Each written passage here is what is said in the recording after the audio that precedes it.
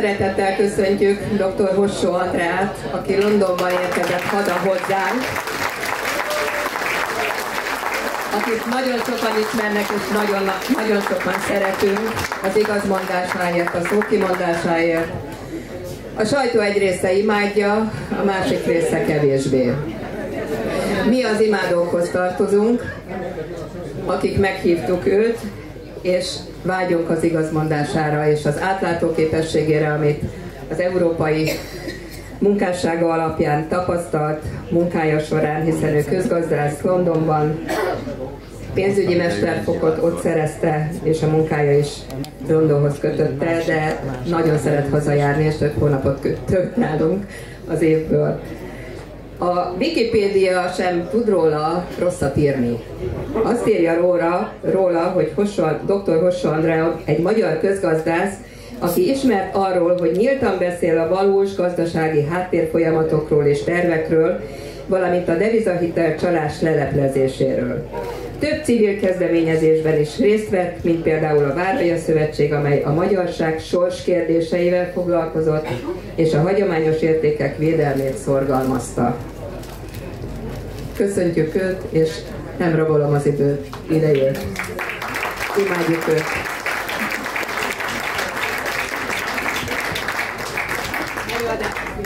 Előadásának címe Nemzetközi körkép, áttekintés a világ és Magyarország helyzetéről. Ez egy nagyon tág és nagyon messze menő.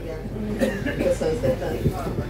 Először is nagyon szépen köszönöm a kedves fogadtatást, köszönöm a szervezőknek a meghívást, ez igazán megtiszteltetés, és önöknek valamennyiüknek, hogy itt vannak és hallani akarják ezt, a, ezt az előadást. Meg kell mondanom, hogy nem lesz olyan szép, mint az előttem szólójé, mert nem ilyen nemes, szép dolgokról fogok beszélni, mint Skiták és Nimrod és magyar történelem, hanem előre bocsátom, hogy hogy piszkos dolgok ezek, amikről beszélni fogok, mert a jelenlegi nemzetközi és sajnos hazai helyzet is hát eléggé keserves.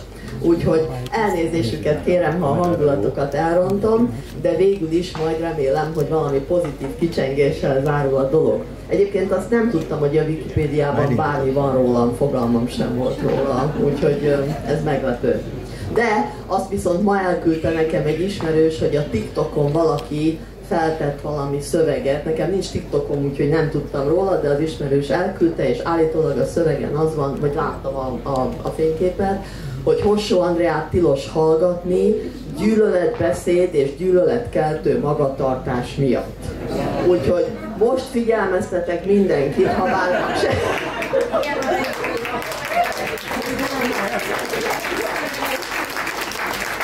Ez a TikTok véleménye, én nem gyűlölök senkit, én úgy tudom, hogy gyűlöletbeszédben nem szoktam bocsátkozni, és hogy mit értenek gyűlöletkeltő magatartáson, azt végképp nem értem, de mindegy, csapjunk bele. Tehát egy elég uh, tág témám van, amiről beszélni szeretnék, és remélem megbocsátják, hogy egy angol idézettel kezdem természetesen. Ez pedig Dennis Healy, brit munkáspárti politikus, már meghalt 2015-ben, de hosszú élete volt, és több mondása maradt fenn, amit ma is jegyez a, a közvélemény. És az egyik ilyen érdekes mondás, ez a saját fordításommal, azt hiszem hivatalos fordítás nincs, a világ eseményei nem véletlenül történnek, hanem előidézik őket, akár belföldi, akár kereskedelmi ügyekről legyen szó. A legtöbbet azok idézik elő és igazgatják, akiknek a kezében van a pénztárca. Na most ez, ezben neki tökéletesen igaza van, és ezt azért szerettem volna előre bocsátani, mert ugye nagyon sok minden történik most a nemzetközi életben is, meg itthon is, és nagyon sokan úgy élik ezt meg, hogy egyik katasztrófa és válság követi a másikat, és micsoda ítéletidők járnak, de igazából ezek nem véletlenül történnek ezek a dolgok és szeretném, hogyha ha mindenki megértené, hogy azért ez valamilyen terv szerint folytatódik, hiba csúszik bele, de van egy elképzelés, aminek a, az érdekében történnek ezek a dolgok. A másik idézet, amit szeretnék ugyancsak tőle mondani, ha gödörben találod magad, hagyd abba az ásást.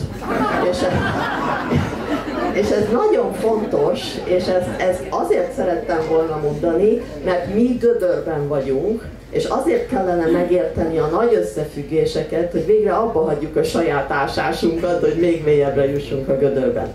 Hogy egyébként a dolgok mennyire nem maguktól történnek, csak egy pár dolgot szeretnék említeni illusztráció véget. Most 2023. júliusában volt egy nagy konferencia Londonban. A konferenciát nem más, mint a Blair Institute, ez a Tony Blair munkáspárti, gondolom mindenki tudja ki az, aki tulajdonképpen nagy-Britannia multikulti, uh, uh,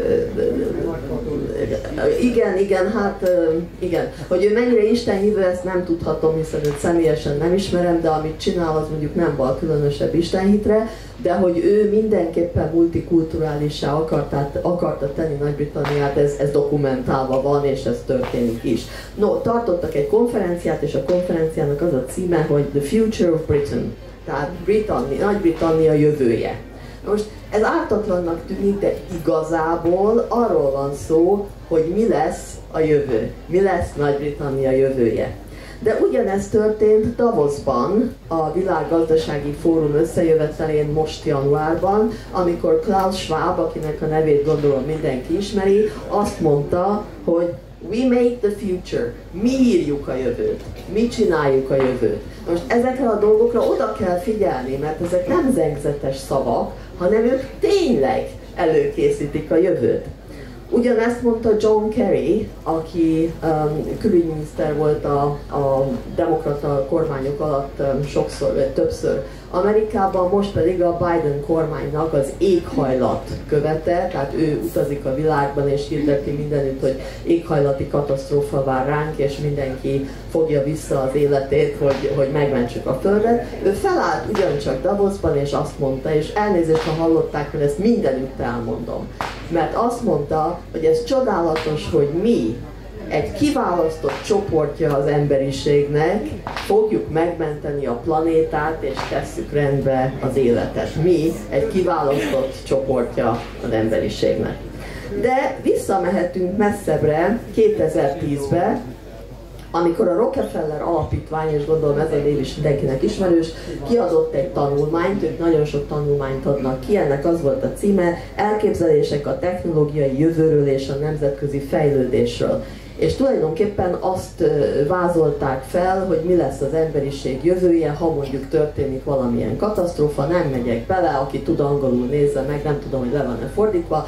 A nyolcas fejezetnek az a címe, hogy lockstep, ami körülbelül olyasmit jelent magyarul, hogy egyszerre lépni, és hát azt láttuk tulajdonképpen a, a Covid időben, hogy minden ország egyszerre lépett a különböző korlátozó intézkedéseket illetően, és most egyszerre lép a háború ügyében, az ukrán háború ügyében, és egyszerre lép, vagy egy do- egyféle dolgot mond az úgynevezett éghajlat változási katasztrófával kapcsolatban. No, ezt csak idézetnek mondtam el, és az utolsó, illetve illusztrációnak az utolsó ilyen illusztráció, az pedig a belga Bertrand hercegre vonatkozik, aki 1974-ben ott volt a Bilderberg csoport konferenciáján, ahol, ez fenn van az, a Youtube-on egyébként egy korabeli felvétel, ahol arról beszélt, hogy előző évben miről tárgyaltak. És azt, ír, azt mondta, hogy Végül beszéltünk a lehetséges energiaválságról, mondja ezt 74-ben, ugye, amikor már kitört a, az energiaválság. Kis proféták voltunk, anélkül, hogy tudtuk volna, és az energiaválság hamarabb jött, mint ahogy arra bárki a résztvevők között számított volna. Na most közben ebben az az érdekes, hogy közben nem tudja a nevetését visszafolytani. Nézzék meg a YouTube-on, ahogy beszél, egyszerűen nem tudja megtartóztatni magát, és röhög, miközben ezt elmondja. No, tehát a lényeg az, hogy a jövőnket tervezik, és ezért lenne nagyon fontos, hogy valamennyien megértsük, hogy mi történik, hogyha nem akarjuk azt a fajta jövőt, amit készítenek nekünk, akkor esetleg tudjunk tenni ellene. Tehát én most nagyon madártávlatban fogok beszélni arról, hogy milyen, mi a helyzet mondjuk nemzetközileg és itthon. Fogok beszélni egy kicsit a gazdasági helyzetről, fogok beszélni a társadalmi helyzetről, mert hiszen a kettő elválaszthatatlan, és hát a kettő együtt adja azt a geopolitikai helyzetet, amiben benne vagyunk. És akkor ismét emlékeztetném önöket, hogy ha gödörben találod magadat, akkor, akkor ne áss tovább. Na most mi történik? Mi az egész globális geopolitikai helyzetnek a háttere? És elnézést kérek azoktól, akik esetleg hallottak már engem videón itt ott, ott mert én erről mostanában nagyon sokat beszélek, és azért beszélek róla, hogy mindenkihez eljusson és megértsük, hogy milyen veszélyek fenyegetnek minket, és megpróbáljunk megszerveződni arra, hogy ellenálljunk ennek a jövőnek. Na most az alaptétel, hogy mi történik, azt egy Joel Kotkin nevezetű író fogalmazta meg, akinek pár évvel ezelőtt megjelent a könyve, aminek az a címe, hogy The Coming of Neo-Feudalism, ami magyarul azt jelenti, hogy a neo feudalizmus, az új feudalizmus eljövetele. Tehát ő nagyon részletesen elmondja, és több uh, televíziós beszélgetése is megtalálható az interneten, hogy tulajdonképpen egy diktatúrát készítenek elő számunkra, ezt gondolom, hogy senkit nem lep meg, mert hiszen mindenki tudja és mindenki látja, de azért mégis jó egy kicsit a részletekbe beleásni, hogy hogy is néz ki ez a diktatúra, és miért csinálják, és ki csinálja. Na most aki csinálja, az nem más, mint a nemzetekhez nem kötődő globális nagytőke. Aki esetleg tíz évvel ezelőtt, mielőtt letiltottak, nézte a, a panorámás beszélgetéseimet Szaniszló Ferenccel, én ott például nagyon sokszor beszéltem a nemzetközi kereskedelmi szerződésekről, amiket akkor próbáltak nyílve ütni a TTIP és a TPP, és akkor mindig elmondtam, hogy ezek nem országok szembenállását mutatják ezek a szerződéstervezetek, hanem itt a nemzetekhez nem kötődő globális nagytőke az, amelyik megpróbálja az emberiség többségének a, a hát szerintem rovására létrehozni ezeket a kereskedelmi szerződéseket. Most is ez történik, még az a helyzet, hogy az uralkodó osztály az a történelemben mindig megpróbálta a maga uralkodó helyzetét bebetonozni, megőrizni, és ez most is így van. Annál is inkább, mert az elmúlt mondjuk 50 évben, ugye, mondjuk az, a 70-es évek energiaválsága óta teljesen elszabadult az a neoliberális gazdasági rend, amit valamennyien látunk és érzékelünk, ami csak emlékeztetőül egy pár dolgot összeírtam. Ugye gátlástalan globalizáció. Tehát nincsenek határok, nincsenek nemzetállamok, globalizáció van. Kinek a globalizációja? A nagy tőke globalizációja, a multinacionális cégek globalizációja, ne állítsa meg őket semmilyen határ és semmilyen korlátozás, mert az a tőke útjában áll. Ahhoz, hogy ez meg, megtörténhessen, a szabadkereskedelem, mint gazdasági fogalom, az abszolút elfogadott kell, hogy legyen, tehát mindenkinek be kell bizonyítani, hogy a szabadkereskedelem, a gátlástalan szabadkereskedelem az jóléthez és gazdagsághoz vezet. A tőke érdekek kerülnek előtérbe, és a bérből, fizetésből élők háttérbe szorulnak, sem törvényes, sem gazdasági védelmük nincsen, illetve hát vannak olyan országok, ahol igen, azok is leépülőben, és mondjuk olyan országokban, amelyek szegényebbek és kitettebbek, ott tulajdonképpen nincsen. A pénztőke került előtérbe sokkal jobban, mint azelőtt, a reáltőke, a reál gyártás, tehát a dolgoknak a gyártása, a manufaktúra, az teljesen kiszorult, a pénz uralja a piacokat, és tulajdonképpen a pénz dönti el, hogy mit gyártunk, hol gyártunk, mennyiért gyártunk és miért gyártunk.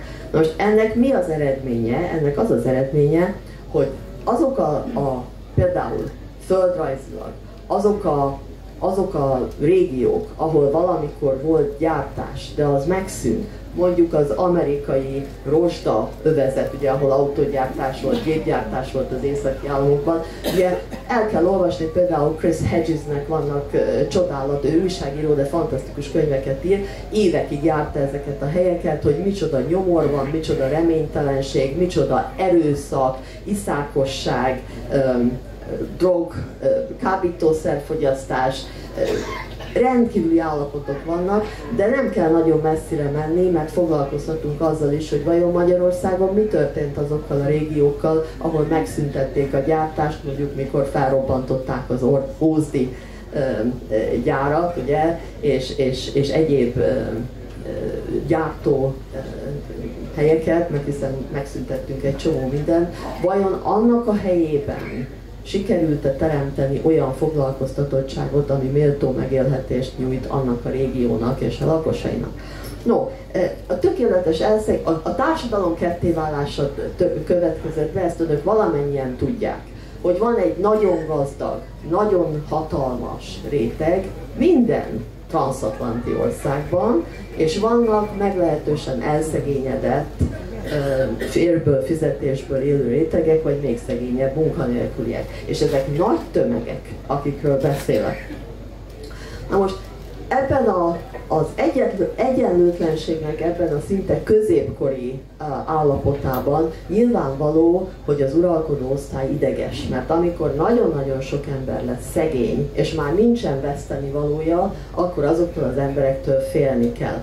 Tehát ezért egyrészt a pénz további um, bekebelezése, másrészt az emberek féken tartása véget. Kell olyan állapotokat létrehozni, hogy az emberek ellenőrzés alatt legyenek, és ne tudjanak ellenállni azoknak a, a gazdasági nyomásoknak és kényszereknek, amelyeket megpróbálnak velük szemben foganatosítani. Idéznék megint, a Financial Times, gondolom mindenki tudja, a Financial Times angol lap, de tulajdonképpen az egész világon olvassák. A Financial Times igazán a neoliberális gazdaságpolitikának és társadalompolitikának a szócsöve. Tehát egy nagyon, nagyon politikailag orientált, ezt a rendszert kiszolgáló pénzügyi politikai lap.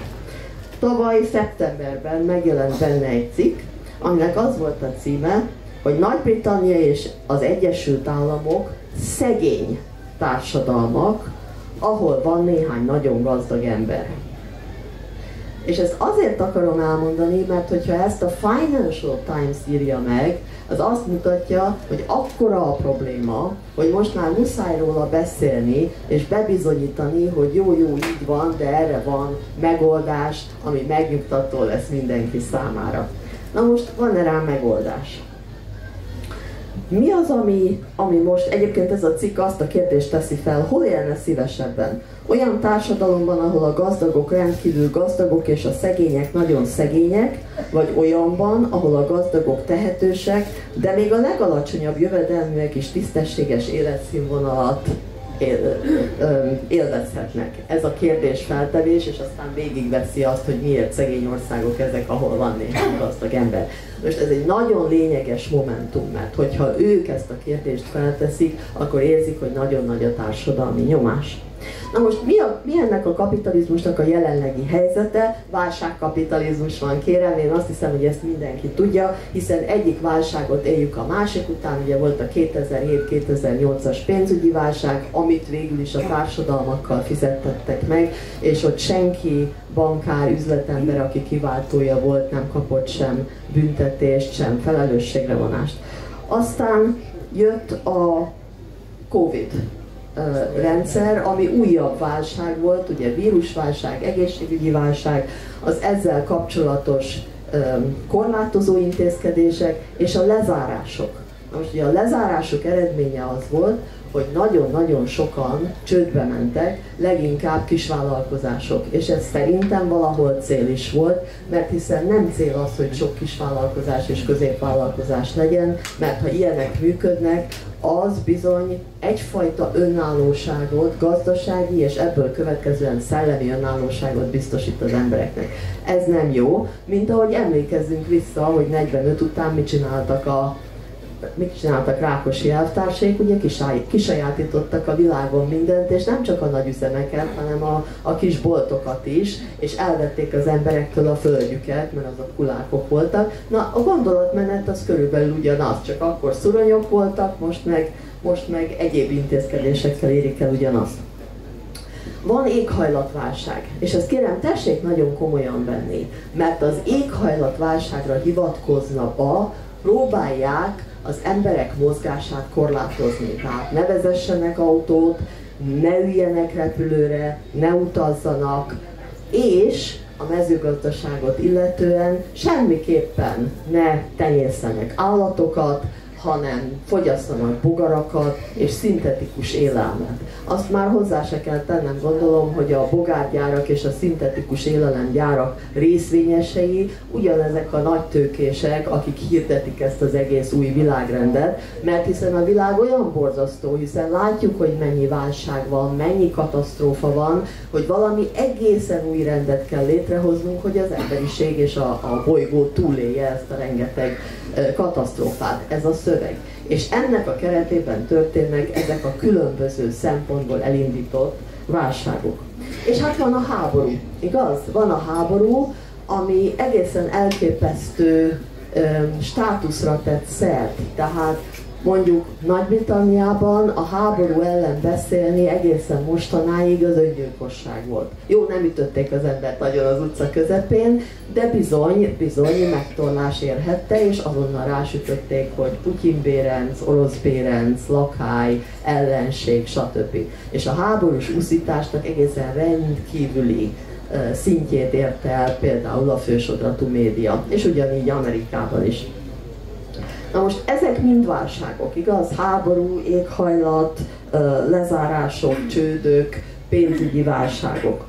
Mi az orvoslás? Hát ugye mindez előidézett egy, egy inflációt, ezt önök valamennyien tudják, hiszen éljük. Egyébként nem csak nálunk van infláció, hát ezt önök bizonyára tudják, hogy infláció az egész világon van, de akkora méretű, mint nálunk, csak Törökországban volt talán, meg Afrikában. Ugye a törökök inflációja az felment százvalahány százalékra, és, és az élelem infláció is majdnem száz százalékra, de nálunk is nagyon magas volt, azt hiszem Európában nálunk volt, vagy, vagy még most is a legmagasabb, de mindenütt van infláció, ha bár másod nem ekkora. Na most az infláció orvoslására mit találtak ki?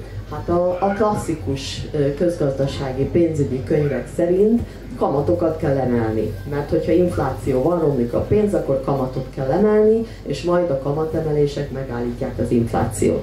Nem tudom, hogy önök követik-e ezt az egészet, vagy sem. De a közgazdászok, legalábbis ö, odakint, nagyon sokat vitáznak ebben a kérdésben, mert hiszen ez az infláció nem egészen olyan infláció, mint az a klasszikus infláció, amiről beszélnek, hogy nagyon túlpörgött a gazdaság, kevés a munkaerő, túl kell fizetni a, a munkaerőt, ez sok pénzt forgat a gazdaságba, és nincs elég ár. Ugye ez a klasszikus inflációnak a magyarázata, ezt akkor szokták a gazdaságot úgy lehűteni, hogy megemelik a kamatokat.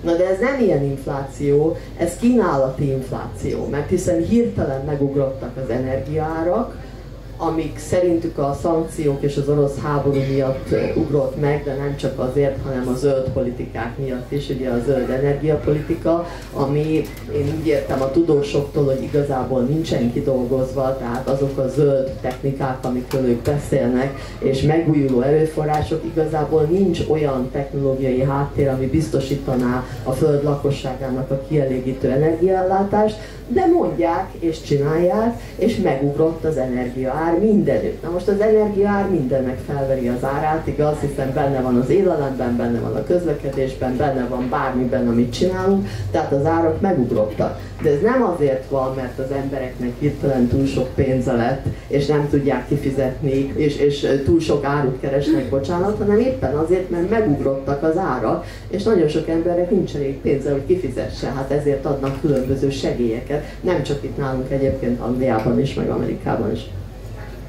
Na most, egy-két szót szólnék arról, hogy ezért milyen hatása van ennek az infláció, infláció kezelésnek, hogy hirtelen megemelik a kamatokat, miután éveken keresztül nagyon-nagyon alacsony, vagy volt, ahol éppen negatív kamat volt. Ja, ha hirtelen megemelik a kamatokat, akkor mi történik? Aki el van adósodva, akinek lakáskölcsöne van, házkölcsöne van, annak hirtelen magasabb kamatot kell fizetnie.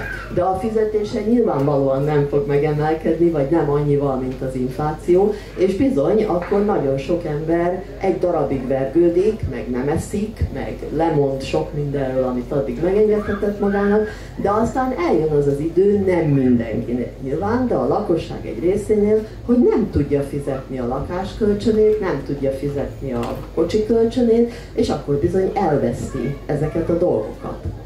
Nem baj, mondják az illetékesek, mert hiszen lehet bérelni. Az igaz, hogy például a bérlakások ára is eszméletlen módon felment például Nagy-Britanniában, és az egyik bank jelentette, hogy ő akar a legnagyobb bérbeadó lenni néhány éven belül.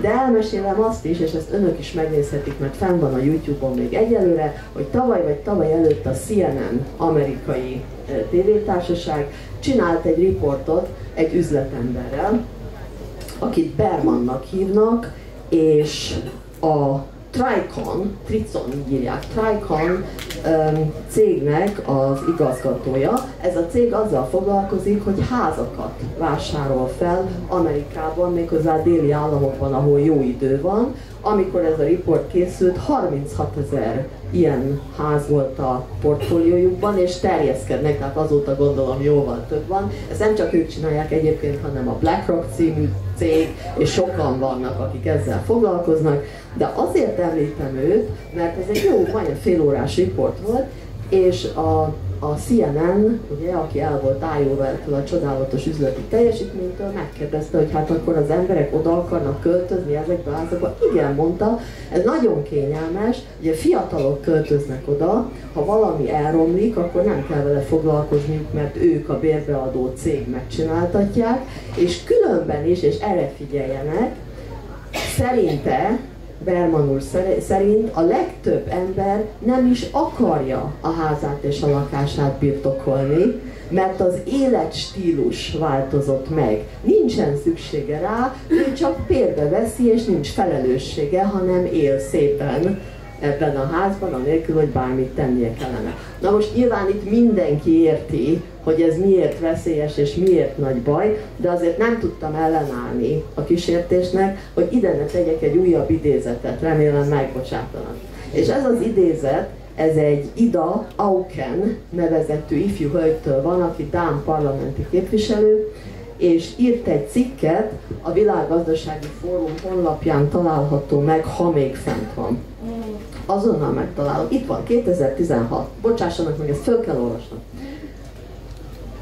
Hogy fog megváltozni a városom élete 2030-ra, mondta akkor a hölgy. Nyers fordítás. Üdvözlet 2030-ban az én városomban, illetve a mi városunkban. Nem birtokolok semmit.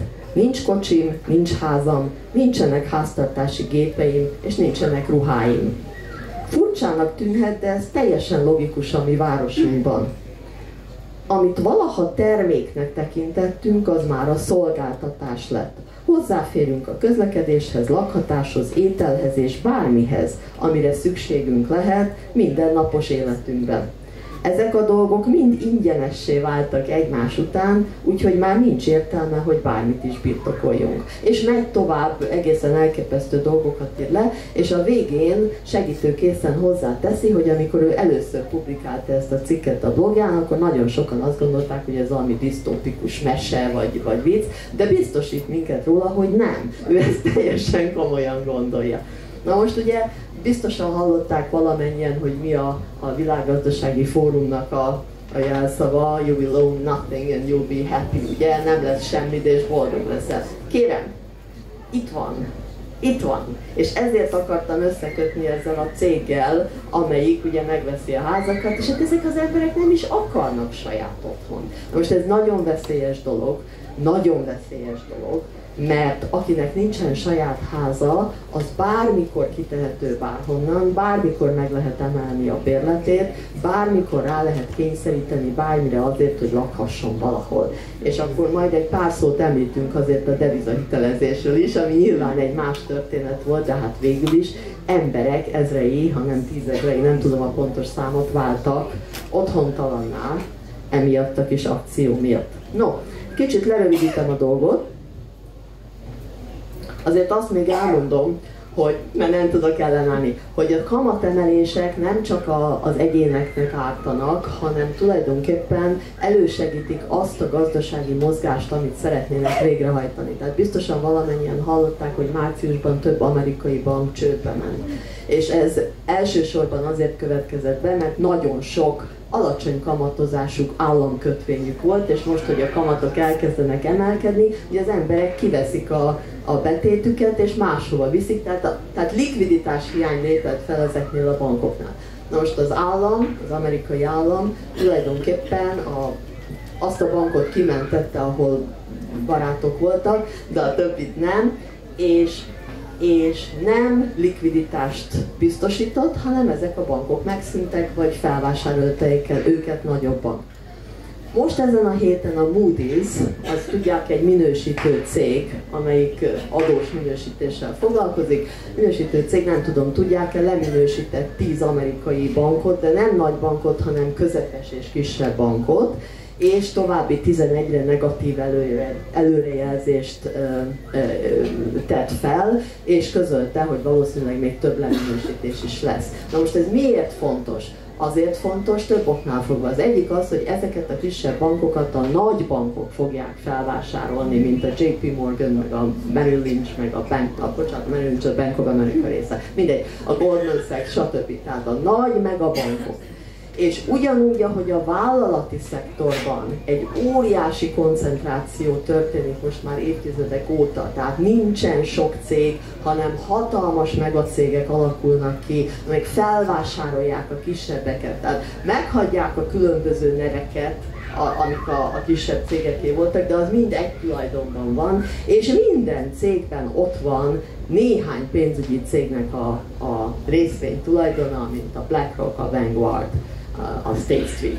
És ezért hihetetlen koncentráció állt be a vállalati, a corporate szektorban, és ugyanez készül beállni a banki szektorban is. Tehát hatalmas meg a bankok, és ennek több előnye van. Egyrészt, mert ugye ha nagy megabankok vannak, akkor fel lehet verni az árakat, igaz? Hiszen ha oligopolista berendezkedés van, akkor olyan árat szabnak, amilyet akarnak, igaz? Ez az egyik. A másik sokkal nehezebb lesz hitelhez jutni, hiszen nincsen verseny. A harmadik pedig az, hogy amikor néhány nagy megabank van, hogy sokkal könnyebb olyan dolgokat bevezetni, mint mondjuk a digitális pénz, mint hogyha ezt nagyon sok piaci szereplővel kell végigcsinálni. És önök gondolom valamennyien hallottak a jegybanki digitális pénzről, ugye? Vagy kell róla beszélni? Kell? Ajaj. Na jó. Kicsit szaporázom, mert, mert uh, uh, igen. No, ezek kis érdekességek.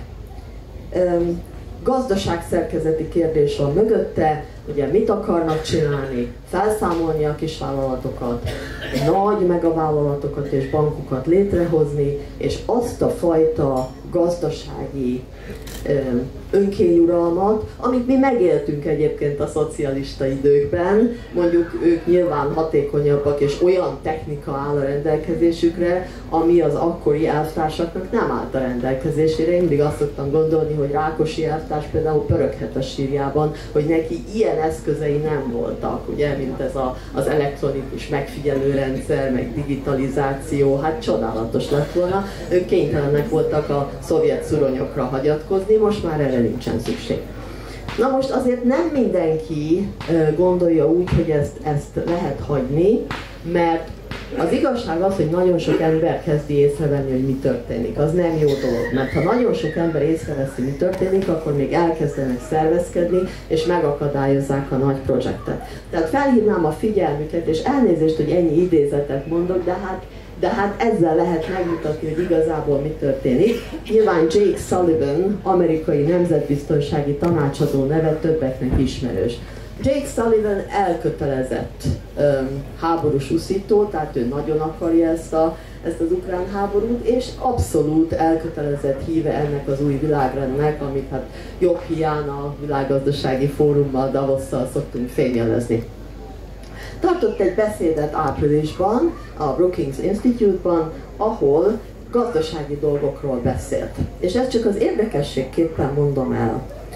Azt mondta, hosszú beszéd, csak a lényegét mondom, felül kell vizsgálnunk az eddigi alapfeltételezéseinket, mert nagyon sok olyasmi történt az amerikai gazdaságban, amire nem számítottunk.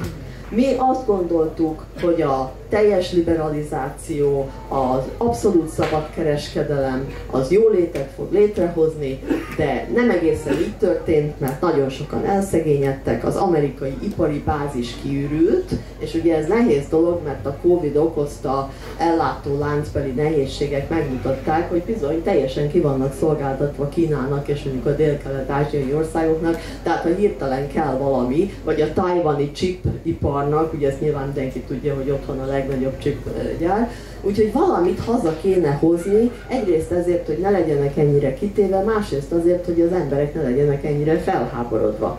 Tehát, tehát új amerikai iparpolitikát hirdetett meg, aminek a, a része az, hogy bizonyos gyártást és bizonyos ipari tevékenységet vissza kell hozni Amerikába. Aki követte ezt a folyamatot, az, az, az tudja, miről beszélek, de aki nem, ugye éppen a globalista ö, világnézet és gazdaságpolitika következtében a gyártás nagy részét kiszervezték olcsóbb országokba. Ez ugyanolyan, mint hogy a német autógyárak ide jönnek összeszereltetni. Miért? Mert a magyar munkás egy töredékért dolgozik, mint a német munkás. Ugye? Mi, mi az ő ellátóláncokban vagyunk benne, a, a kínaiak pedig az amerikaiak ellátó láncában, csak hát ők nem egészen követték a forgatókönyvet, és elkezdtek saját életet élni, amit mi azért nem igazán tettünk meg. No, tehát új iparpolitika, és akkor itt tenném hozzá azt is, hogy Macron elnök, ugye a büszke francia elnök is oda nyilatkozott, hogy túlságosan kiszerveztük a a gyártást, és Franciaországot újraiparosítani kell. Újraiparosítani, és különböző szektorok vezetőivel ült le, például a gyógyszeriparral, hogy tessék visszahozni a gyártást Franciaországba, és így csinálni. No, ez az a gazdasági háttér, amiben vagyunk, rengeteg mindent lehetne még mondani, de körülbelül így néz ki a kép. Na most azt azért hagyd mondjam el, hogy itt beszélnek újraiparosításról, meg, meg globalizációról, meg ellátóláncokról. Igazából, ami számít egy gazdaságban, az az, hogy nőjön, egészségesen nőjön, nem korlátlanul, de egészségesen nőjön, organikusan nőjön, és nem mindegy, hogy milyen az a növekedés. Ezt egyébként még Jake Sullivan is elmondta, hogy mi azt hittük, hogy mindegy, milyen növekedés. Nem kérem, nem mindegy, hogy milyen növekedés. Tehát amikor a gazdasági növekedés abból áll, hogy fölösleges dolgokat építünk, most példákat mondok, hogy mindent különböző vásárlóközpontok építésébe teszünk. Például akkor ez nem egészséges növekedés, mert ez a növekedés ez nem fog hozzátenni az ország gazdaságának a minőségi javulásához és a hozzáadott érték növekedéséhez. Tehát van növekedés, de használhatatlan növekedés, vagy nem sok hasznú növekedés. És nagyon fontos, hogy ha van is növekedés, mi a jövedelem elosztása. Mert ugye Amerikában is volt növekedés, ha bár nem annyi, mint azelőtt, de volt növekedés, de teljesen egyenlőtlenül oszlik el a jövedelem, tehát ugye a felső 10% szerzi meg a jövedelemnek ez változik időnként, mit tudom én, 80%-át, és ez hozzáépül a vagyonához, ami úgy szintén domináns, mert hiszen a felső tízezer kezében van a nemzeti vagyonnak a túlnyomó része. Na most kérem, ez nem csak Amerikában van így, igaz? Ez Nyugat-Európában is így van, és nálunk is így van. És ez nem egy egészséges gazdaságszerkezet. Most az egésznek az alapja, az egésznek az alapja az egy filozófiai kérdés, igaz? És ez nagyon fontos, mert a közgazdaságtanul mindenki azt hiszi, hogy százalékokból áll, meg gazdasági törvényekből, meg egyenletekből, de nem. A gazdaságpolitikának valamilyen filozófiát kell követnie. Milyen országot képzelek el? Milyen országot akarok építeni? Milyen legyen az az ország, ahol én gazdaságpolitikát csinálok? Olyan ország, ami nemzetállam, ahol mindenki az ország része, akkor is, hogyha atomtudós, és 250 az iq most mondtam valamit, meg akkor is, hogyha ha egy betanított munkás, nyilván nem ugyanaz lesz a jövedelme, nyilván nem ugyanaz lesz a, tanús, tan, a, a tanulás, amit, amit el kell végeznie, de mindketten a nemzetnek a tagjai, és olyan közgazdaságtant akarok, olyan közgazdaságot, ahol mindenki megtalálja a tisztességes életmódot. Ugye ez volt a, a kérdés, amit a Financial Times cikk feltett, hogy olyan országot akarok, ahol az gazdag nagyon gazdag, a szegény nagyon szegény, vagy olyat, ahol ahol a szegény is meg, a szegényebb is meg tud élni tisztességesen. No, ők nem ebben gondolkodnak. És azért nem ebben gondolkodnak, ezt én mondom, ez nincs felírva sehol, mert ugye az, a, a, nemzet, az áll, a nemzetállam, az ország, mint egy népnek a hazája, ez kiirtandó fogalom ne legyen haza, és ha nincsen haza, akkor minket nem köt össze semmi a világon. Akkor, ha én sok pénzt tudok keresni, akkor én nagyon gazdag leszek, és téged minél olcsóbban foglalkoztatlak. De nincsen közöttünk semmilyen kapcsolat, és csak az számít, hogy kinek mennyi pénze van. Körülbelül ezt most nagyon, nagyon leegyszerűsítettem, és elég durván mondtam el, de tulajdonképpen erről van szó. No, ennyit a gazdaságról. És ha még, ha még nem keseredtek el eléggé, akkor hagyj beszéljek egy kicsit a társadalomról. Mert ugye ezt a fajta gazdaságpolitikát a 70-es évek óta csak úgy lehetett ö, végrehajtani, hogy közben egy meglehetősen erőszakos társadalompolitikát és kultúrpolitikát folytattak, ami kísérte, illetve megágyazott ennek a gazdaságpolitikának. Miről beszélek? Amit valamennyien tudnak. A a társadalom atomizálása, ugye szétverni a társadalmakat. A nemzetállam megszűnt, ne legyen nemzetállam, mert az akadálya a nemzetközi tőkének. Az identitáspolitika, nem tudok rá szebb szót, ugye a, a különféle azonosságokon alapuló politika, ahol kis csoportok veszekedjenek egymással, és akkor legyenek etnikai, vallási, szexuális preferenciák, a kövérek, az nem viccelek, most már Angliában ilyen is van, hogy fat shaming, hogy a kövéreknek nem szabad azt mondani, hogy kövér, hát mondjuk tényleg nem szabad sértegetni őket, de ezt se lehet mondani, hogy kövér, hanem, hanem nem lehet. És akkor ők, ők, ők haragszanak a soványokra és fordítva. Tehát megtaláljuk mind azokat a, a, a törésvonalakat, amelyeknek a mentén meg lehet osztani a társadalmat. Ez borzasztó jó dolog, higyet, hiszen nálunk minden gyarmatosító ezt követte, igaz? Minden megszálló hatalom megpróbálta megosztani a magyarságot különböző törésvonalak mentén, mert amíg a magyar egymással veszekszik, egymást utálja, és főleg egymást jelentgeti fel a titkos rendőrségnél, addig ők nyugodtan uralkodnak rajtunk. Ez mindig így volt, hölgyeim és uraim, és ez az egyik első dolog, ami változtatni kellene.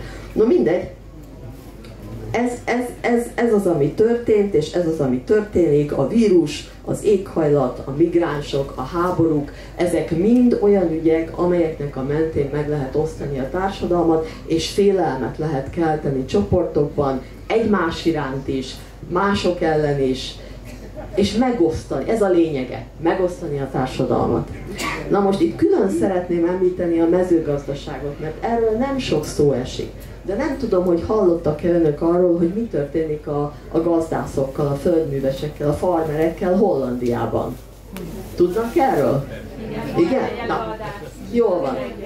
Jól van, akkor nem kell róla beszélnem, de ezt ne felejtsék el egy pillanatra sem. Mert ugye én egyébként tavaly éppen egy éve Hollandiában töltöttem egy kis időt, és ott volt szerencsém találkozni egy úri emberrel, aki a mezőgazdasági minisztériumban dolgozott, és ő el is mondta, hogy kell a föld a migránsoknak, mert nincs elég ház, és nem kell ennyi tehén, mert ugye az mindenféle káros gáz, metánt igen, meg ki tudja még mit küld a levegőbe, és bizony a farmerek, elfelejtettem, hogy hány százalékát, de el kell venni tőlük a, a földet, ugye felajánlották nekik, hogy megveszik, a farmerek érdekes módon nem akarták eladni a földjüket, hát akkor elvesszük.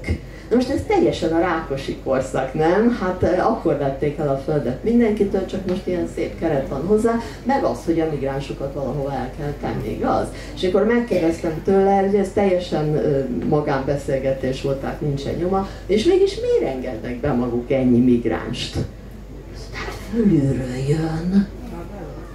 Hát ez az, ugye miért jön fölülről? Mert ez politika, politika Amerikában is, Kanadában is, és Európában is, hogy minél több etnikailag, vallásilag különböző népcsoportot kell rászabadítani, beengedni ezekre az országokra, mert akkor lehet a társadalom szövetét felbontani. Akkor nincsen ellenállás, mert az emberek nem tudnak összefogni, mert ezek a kis csoportok mind egymás ellen fognak marakodni, mert az egyik ilyen vallású, a másik olyan színű, a harmadik olyan szokású, és akkor mindenki mindenki ellen. És ez nagyon jó lesz, nem? Hát oszd meg és uralkodj, ki is mondta ezt annak idején? No, erről van szó. Tehát a mezőgazdaságot egy pillanatra se felejtsék el, mert az ugye nekünk különösen nagyon fontos, és egyébként hasonló dolgokat próbálnak Kanadában és Ausztráliában is, ami híreket kapok, és én úgy tudom, hogy itt még ilyen nem volt, de azért erre nagyon oda kell figyelni, mert ha a föld eltűnik és a víz eltűnik, akkor bizony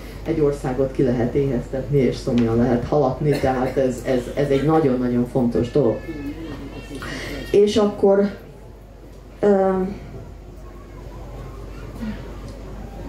igen, tehát tulajdonképpen ennek az új gazdasági rendnek a társadalmi kísérője ez a megosztás, és ezzel párosul a cenzúra. Hát gondolom erről nem sokat kell beszélnem, mert nyilván mindenki tudja, hogy nagyon komoly cenzúra van, ami engem meglepett. Én elég régen vagyok Angliában, mert én ott tanultam egyetemen, és utána ott maradtam dolgozni, de ahogy Erzsike mondta, én sokat vagyok itthon, de én tudtam, hogy, hogy egyetlen nyugati ország sem paradicsom, tehát az a szájtátó gyönyörű, amit itt nagyon sok honfitársunk érez, hogyha egy nyugati országról van szó, az sosem volt az enyém, de ezt például nem gondoltam volna, hogy, hogy ilyenfajta cenzúrát be lehet vezetni, hogy ilyenfajta megfigyelő rendszereket meg lehet honosítani, hogy, hogy az angolok tömegesen fogják feljelenteni a szomszédot a Covid idején, hogyha ha vendéget fogadott, vagy, vagy meglátogatott valakit, vagy olyasmit csinált, amit ugye nem volt szabad,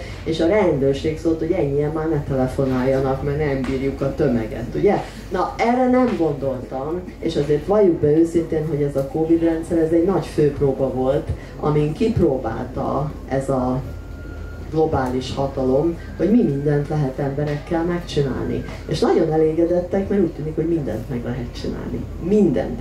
És a legszomorúbb benne az, hogy egymásnak uszították a az oltottakat és az oltatlanokat, és az oltatlanokat üldözték. Hát erről a doktor urak tudnak sokat beszélni, ugye?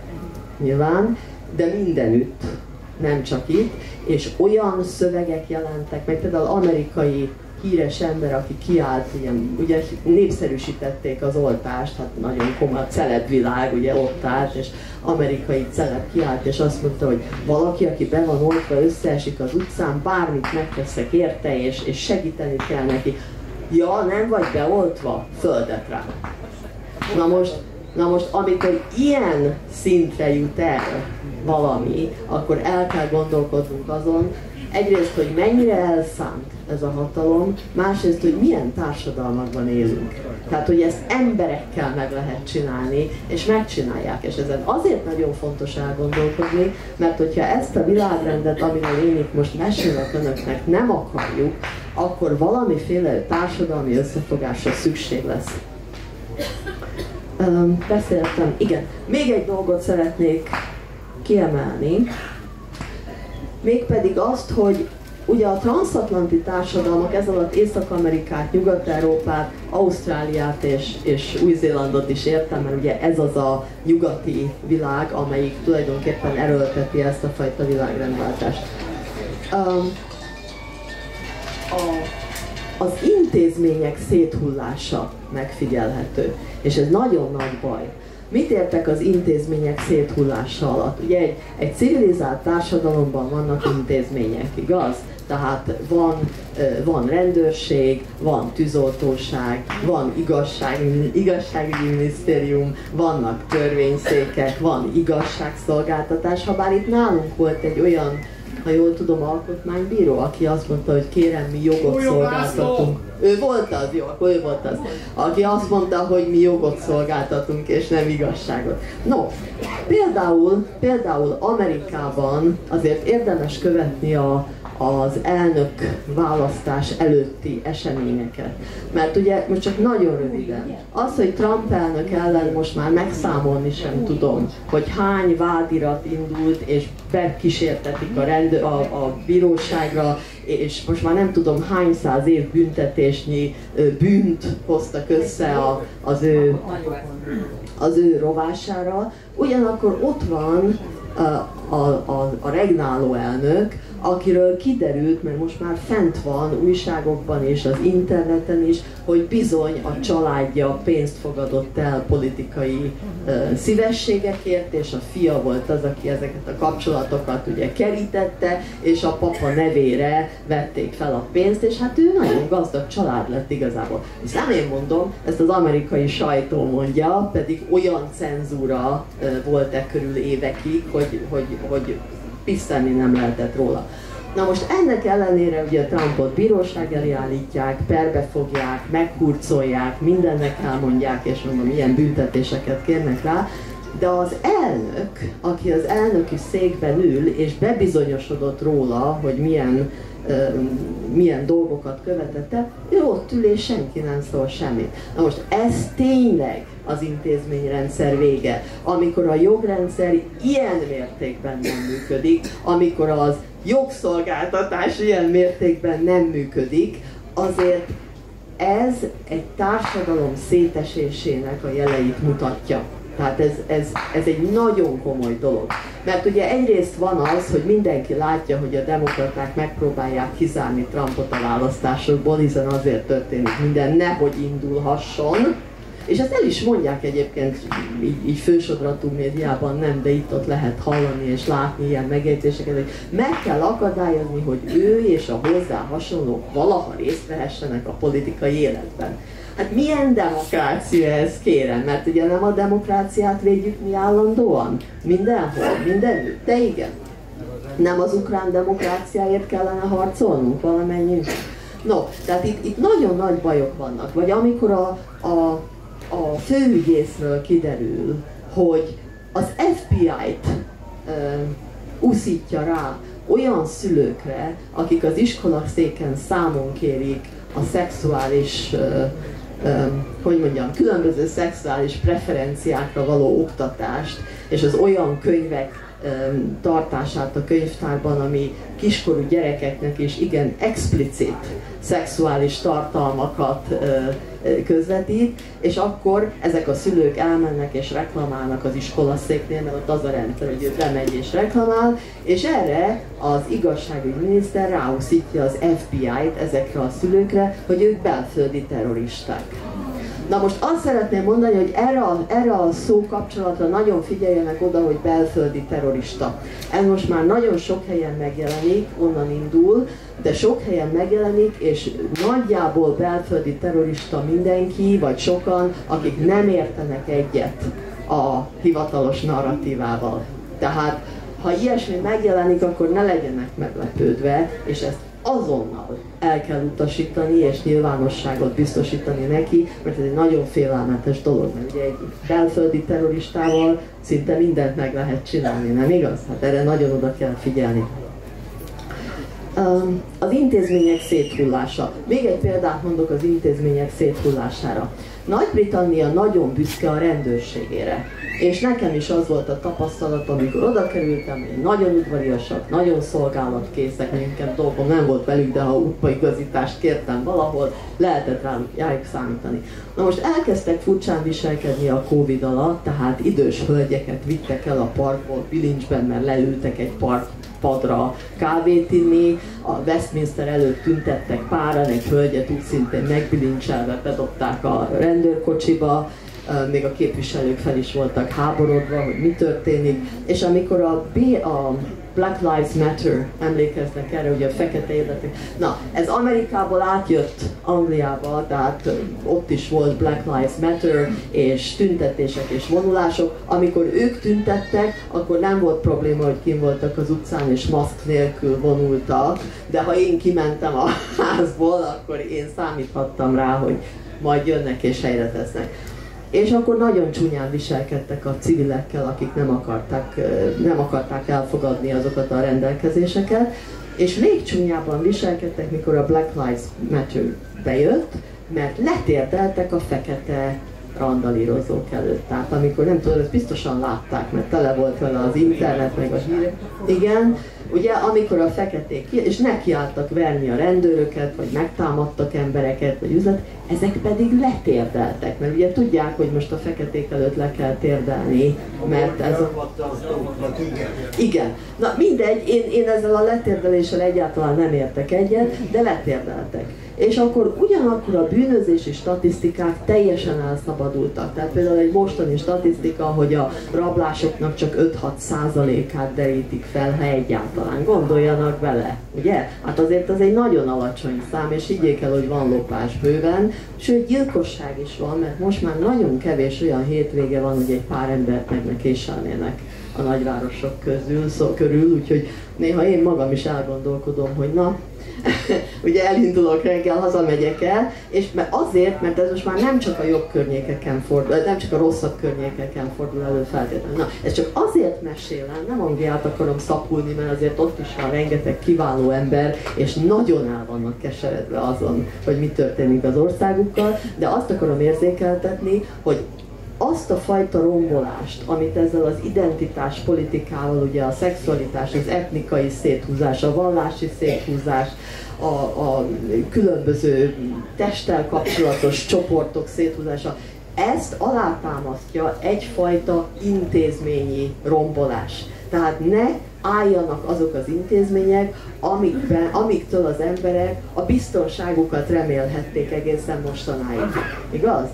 És én például ez csak egy példa, és nem történt meg velem, de biztos vagyok benne, hogyha engem ne adj Isten megtámadna az utcasarkon valamilyen etnikai társaság, a világon semmi nem A világon semmi nem történik. Így van. Ha kiterülne, hogy magyar vagyok, akkor aztán még mindegy. Nem volt abból soha bajom, hogy magyar vagyok, de, de nyilván sose tudni, így van. No, tehát ez nagyon fontos dolog az intézmények széthullása, és ezzel azért kell foglalkozni, mert ha nem is pontosan így, de az intézmények széthullása többé-kevésbé majdnem mindenütt tetten érhető. És akkor gondolkodjanak el azon, hogy a saját környezetükben mit látnak ilyen szempontból, hogy az intézmények mennyire szolgálják az állampolgár érdekeit és jogait. És ez egy nagyon-nagyon fontos kérdés, mert hiszen az állami létnek az alapja. Nem számíthatok-e a rendőrségre, számíthatok-e a kórházra, számíthatok-e a, a, a tűzoltóra, számíthatok-e, igen, bármilyen hatóságra, ami arra hivatott, hogy az én országomat működtesse, és számomra tisztességes, békés, biztonságos életet biztosítson. No, itt azért vannak problémák. Ezt el akartam mondani. Mennyi időm van? 20 perc, ilyesmi? Hát igen, így van. No, azért még egyet elmondanék, hogy ez a nyugati világ, ez a transatlanti világ, ugye, amit a nemzetekhez nem kötődő globális nagytőke irányít, ugye ők szeretnék ezt a fajta új világrendet bevezetni, és ezt nem, ezt nem én mondom egyébként, ha önök elolvassák a világgazdasági fórum anyagait, vagy a Rockefeller alapítvány anyagait, vagy akár a CNN adásait, akkor tudni fogják, hogy ez így van. És szeretnék az egész világra kiterjeszteni ezt, de azért ez nem megy olyan könnyen. És szeretnék önöknek beszámolni röviden négy uh, csúcs találkozóról, ami most június-júliusban történt um, a, a, Európában többnyire. Az egyik az júniusban volt az új globális pénzügyi paktum. Nem tudom, hallottak-e róla. Ez Párizsban, nem? Csak nagyon röviden. Párizsban Macron elnök hívta össze, de nagyon nagy emberek voltak ott, mint Janet Yellen, amerikai pénzügyminiszter, mint az IMF főnöknője, ugye Kristalina Georgiova, tehát csupa ilyen nagy kaliberű nemzetközi vezető volt ott, és meghívták a karibi és afrikai országokat. Úgyhogy ott nagyon sokan voltak, és a konferencia alaptémája az volt, hogy éghajlatválság van, és meg kell finanszírozni a szegényebb országoknak is azt a lehetőséget, hogy tudjanak az éghajlatváltozás ellen küzdeni. Tehát egy új, ezért van egy új pénzügyi paktum, ugye egy új megállapodást kell kötni ezekkel az országokkal, hogy ők lépjenek fel az éghajlatváltozás ellen, és természetesen az állami és a magántőke majd együtt kell, hogy ezt, ezt létrehozza, és majd mi nyugati országok adunk nektek x milliárd ezt, azt, amaszt, és ennek cserébe ti csináljátok, amit csinálnotok kell. Na most a dolog nem sikerült annyira jól, mint ahogy számítottak rá, mert a legtöbb afrikai vezető azt mondta, hogy hát ez mind nagyon szép, de minket annyira az éghajlat nem így mondták. Az éghajlat nem érdekel, hanem az érdekel, hogy az embereknek nálunk nincs mit enni, meg nyomor van, meg már régebben is ígértettek 100 milliót, meg 1 milliárdot, és nem kaptunk semmit. Tehát ezt elmondják, fenn van az interneten, meg lehet nézni, és olyan új paktumra van szükség, amit nem tírtok nekünk, hanem együtt írjuk valamennyien. Na most nem tudom, nem tudom eléggé hangsúlyozni, hogy ez mennyire fontos. Mert ugye egész mostanáig arról volt szó, hogy Afrika megcsinálta, amit mondtak nekik, de most nem akarják azt csinálni, amit mondanak nekik, hanem szeretnének többé-kevésbé a saját lábukra állni. Most ez nem azt jelenti, hogy ott nincs korrupció, mert erről egy külön előadást lehetne tartani, ugye? De de ez mégis egy más ö, hozzáállás, mint ami eddig volt. Volt egy másik csúcs találkozó, ez az EU és a latin-amerikai országok között történt meg Brüsszelben, ez most júliusban volt valamikor, amikor is, hát természetesen kereskedelmi megállapodásról volt szó, de ráadásul az EU, ugye von der Leyen asszony és csatolt részei mindenképpen megpróbálták rávenni ezeket a dél-amerikai országokat, hogy ítéljék el Oroszországot és támogassák Ukrajnát.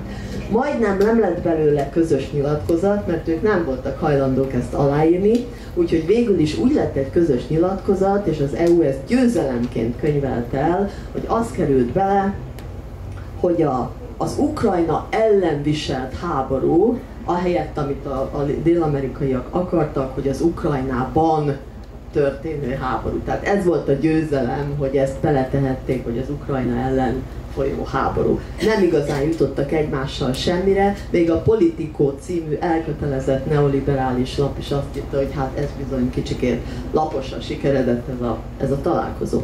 Aztán most volt egy újabb csúcs találkozó, méghozzá Szaúd-Arábiában, erről biztos beszélt a magyar sajtó is, nem? Szaúd-Arábiában békéltető tárgyalás volt, ugye Ukrajna, Oroszország kibékítése, egyetlen országot nem hívtak meg, Oroszországot pontosan, igen, tehát ez egy nagyon ügyes találkozó volt, de egyébként sokan ott voltak, a brazilok, a kínaiak nem akartak elmenni, ugye a BRICS, ők a BRICS csoportnak a, a tagjai, de végül is elmentek, nem igazán voltak lelkesek, és a világon semmi nem jött ki ebből a találkozóból, sőt, utána Zelenszky elnök, akit úgy hallom, hogy a magyar közvélemény zselének tetszett, legalábbis ezt olvastam különböző posztokon.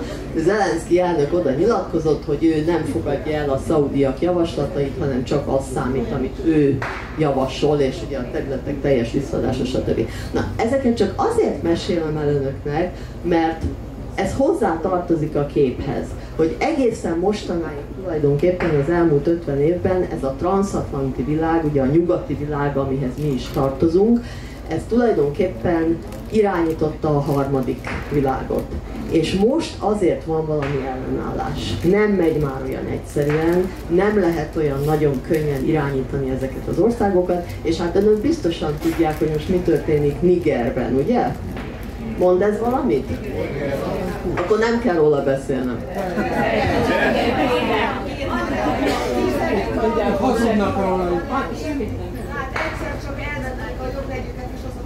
Igen.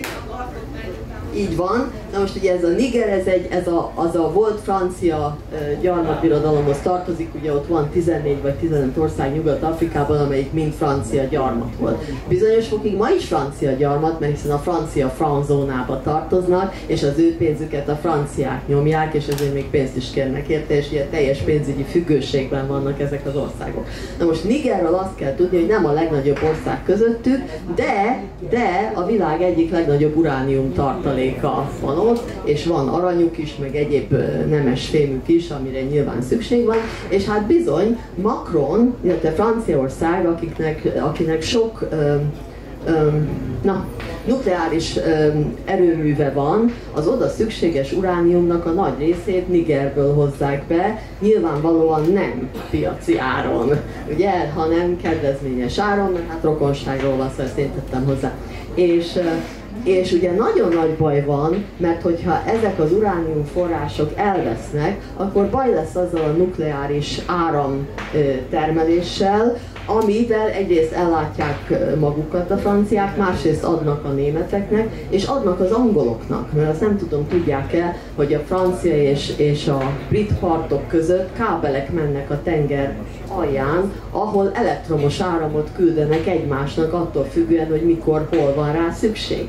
Na most, hogyha annyira megdrágul az áram, vagy nem lesz áram, akkor bizony a brit áramellátással is probléma lesz, úgyhogy én már eleve begyűjtöm a gyertyákat, mert hát ugye ki tudja. Nem hiszem, hogy ide kerül, erre kerülne a sor, de, de tulajdonképpen most már bármi megtörténhet. No, a lényeg az, hogy, a, hogy, a, hogy Nigerben volt egy pucs, ugye a, a állítólag egy roppant korrupt elnökük volt, milyen meglepő, és a saját testőrségének a, a főnöke vette át most a, a, a miniszterelnöki posztot, és kikü, elküldte a franciákat, mint ahogy Maliból is elküldték a franciákat, azok ott harcoltak egy darabig, de végül is ki, kizavarták onnan a franciákat, és Burkina Faso-ból is. Le, lerövidítem a történetet.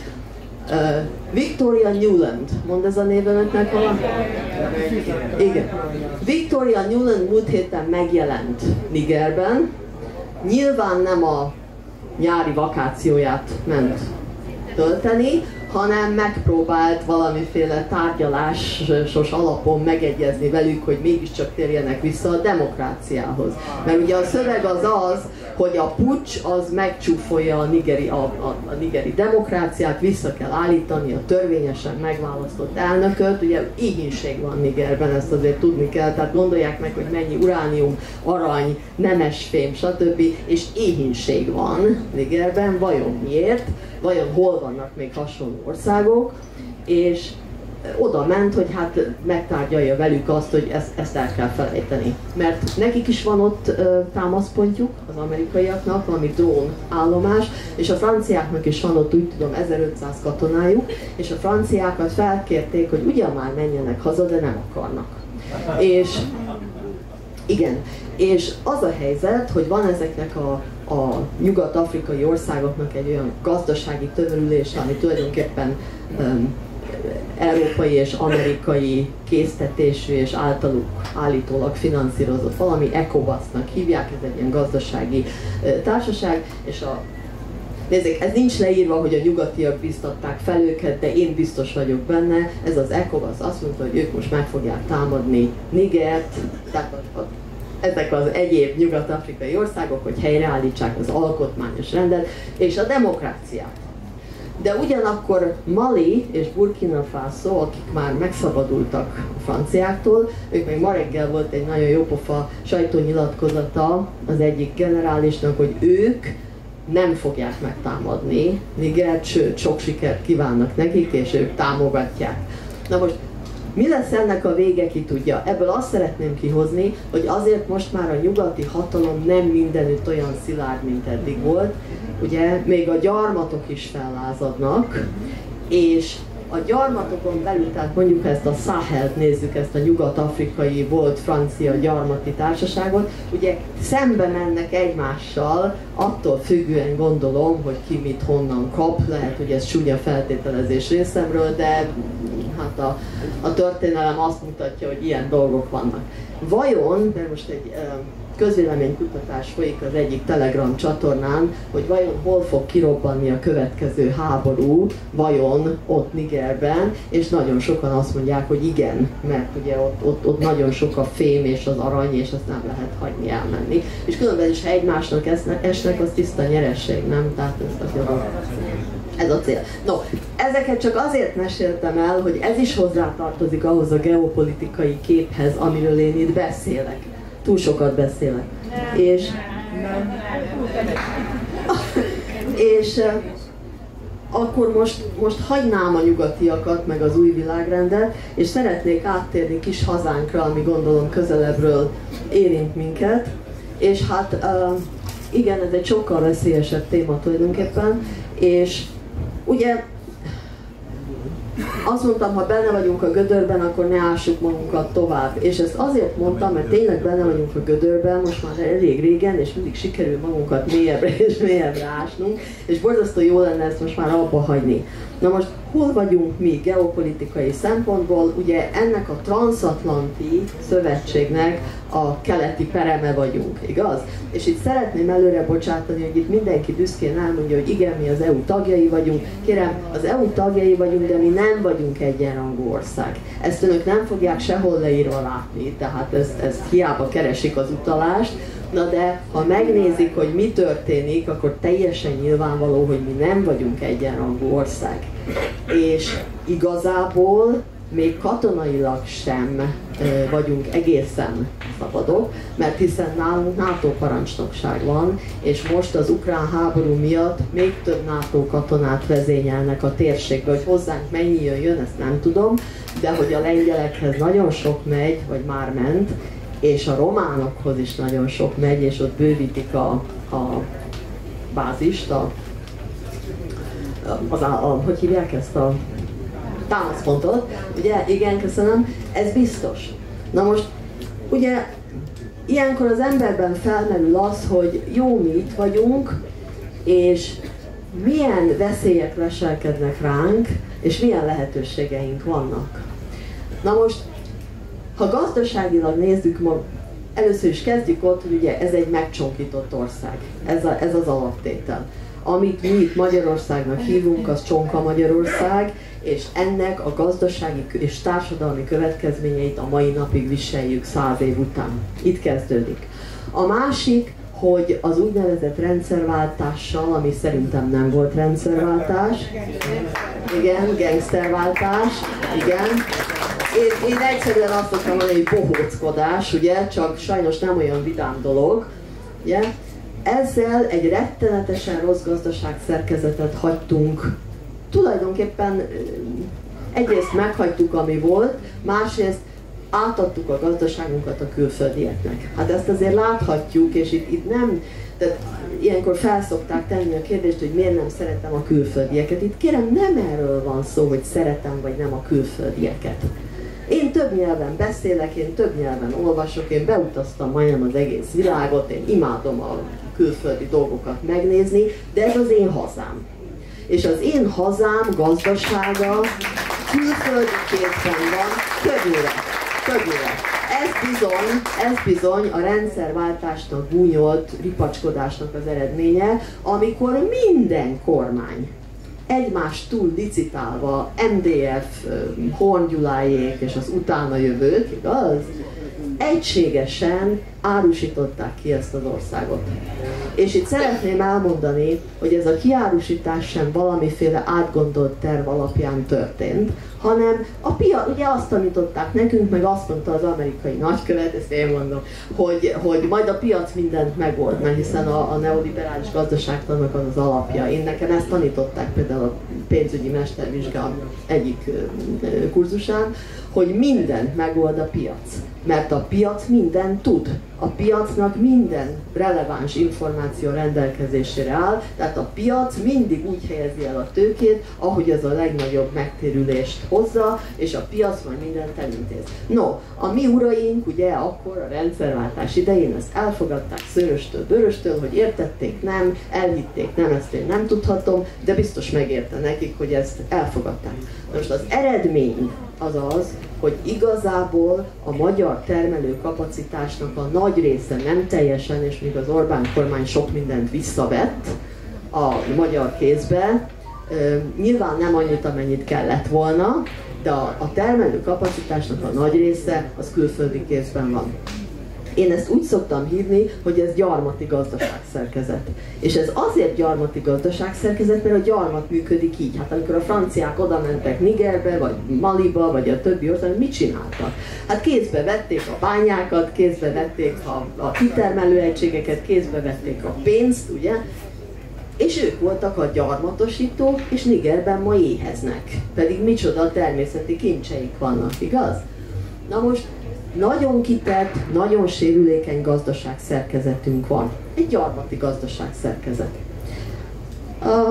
Ez kiszolgáltatottságot jelent. Ez az egyik része. És hagyd tegyem hozzá, hogy ezt a gazdaság szerkezetet minden párt támogatja.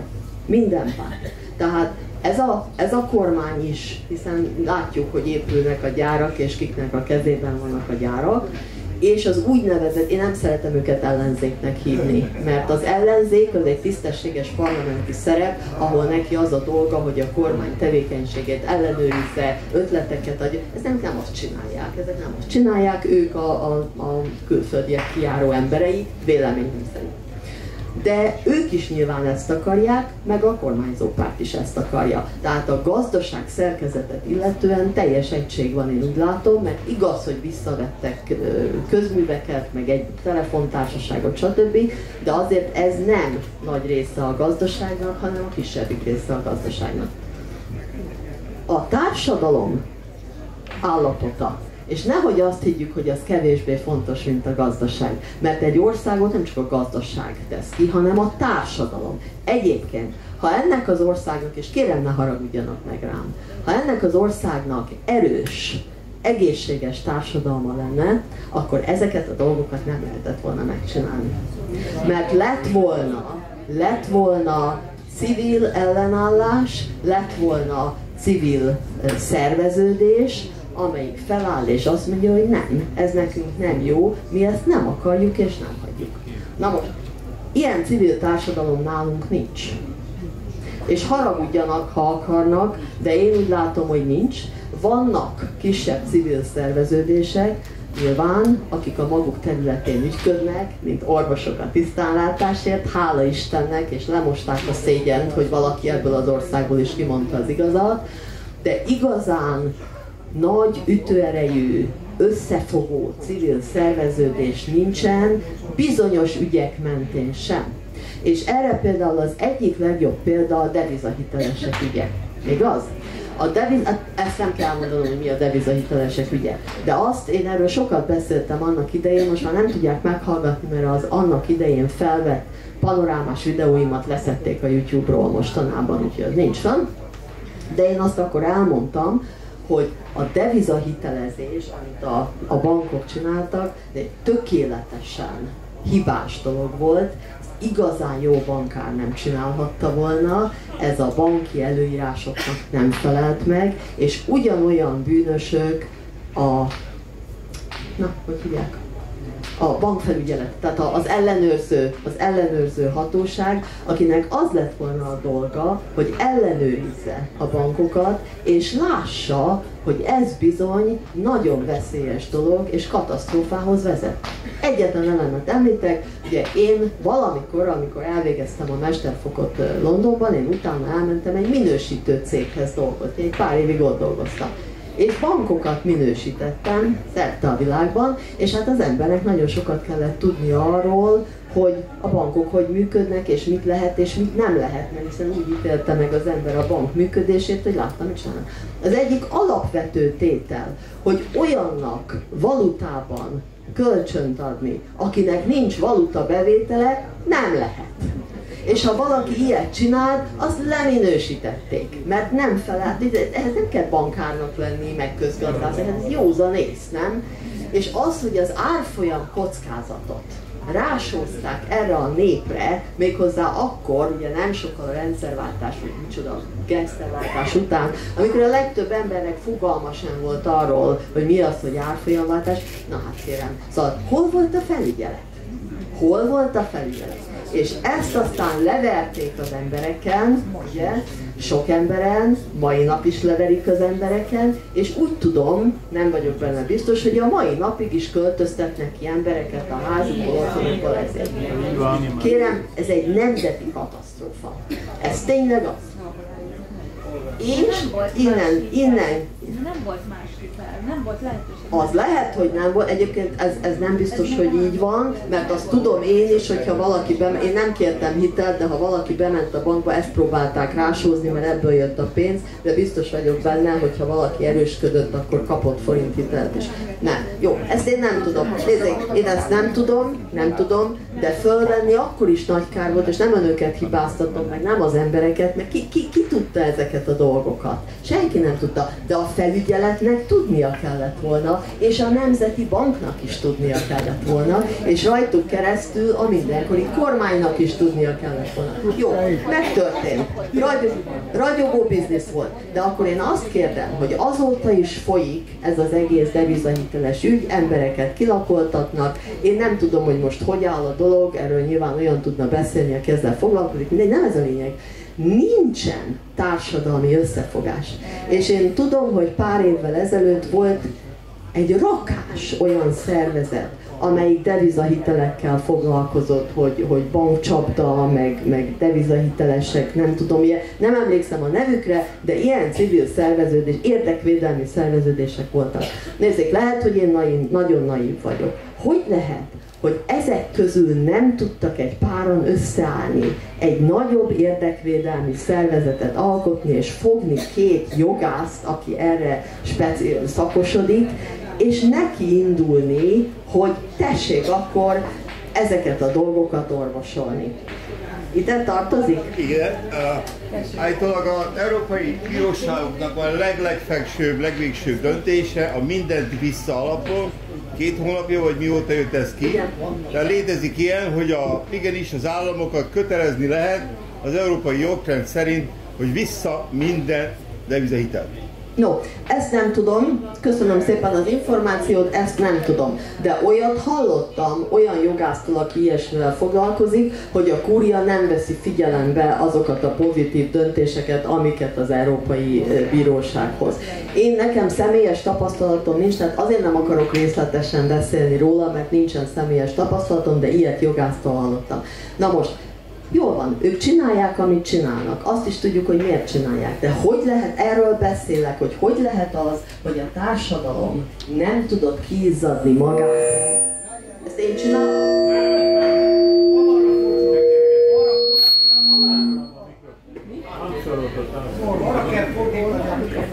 Én csináltam valamit? Most már jó?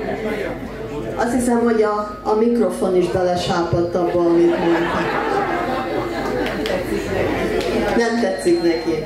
Milyen mikrofon ez? No, lényeg az, hogy ez, erről beszélek a társadalom állapota, milyen állapotban van a társadalom. Ez egy olyan téma, Hova tartsam? Így jó? Mert most már itt Messze. Menjek Falhoz állítottam. Még? Jó így?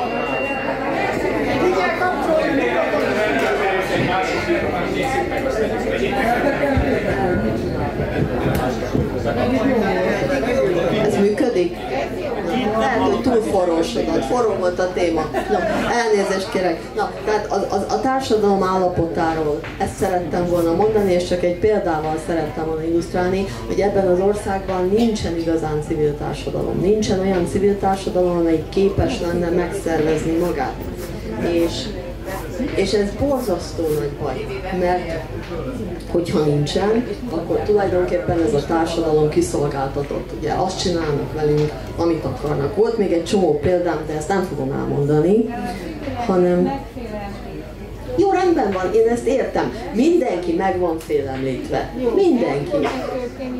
Mindenki meg van félemlítve, de hát tudják, az igazság az, hogy ezért mindenkit nem lehet kiírtani. És hogyha egyszer erőt mutatna a társadalom, nem úgy, hogy kimegy, mint a Black Lives Matter, nem erről beszélek, megszerveződni. Hogyha valaki állandóan fél, hogyha a politikusokat hagyjuk. Nem. Nem, nem, hagyjuk. Civilekre lenne szükség. Civilekre lenne szükség, én ezt nem látom. Tehát... Itt a önkormányzatiság! Vissza, visszatérek a, oda, ahonnan elindultam, nagyon rossz gazdaságszerkezettel, sérülékeny gazdasággal állunk itt, a Kárpát-medence közepén, és egy olyan civil társadalommal, amelyik megfélemlített, és nem tud összefogni. Ez nagyon nagy baj, hölgyeim és uraim, ez a legnagyobb baj, mert mi mindig sírunk, hogy a külföldiek, igen, így van, valljuk be, a külföldiek nekünk semmi jót nem akarnak, mert nem ez az érdekük, nem azért vannak itt, hogy nekünk jó legyen, hanem azért, hogy nekik legyen jó, de hagyjuk, hogy megtörténjen. Hagyjuk, hogy megtörténjen. Mondok egy nagyon rövid példát. Angliában, ahol szintén sikerült a Covid-ot, stb. ezt azt végéhez vinni, mondom, hogy a betelefonálások, a feljelentések, de vannak civil szervezetek. Van olyan civil szervezet, amelyik nagyon komoly mozgalmat indított, nézem, mit csinálnak, aláírom, amit csinálnak, hogy például az egészségügyi dolgozókat, akiket kényszerrel beoltottak, mert különben kirúgták volna, de bocsánat, nem, nem, nem, azokat, akik nem voltak hajlandók be, beoltatni magukat, mert nem, és kirúgták őket, és ilyen sok van.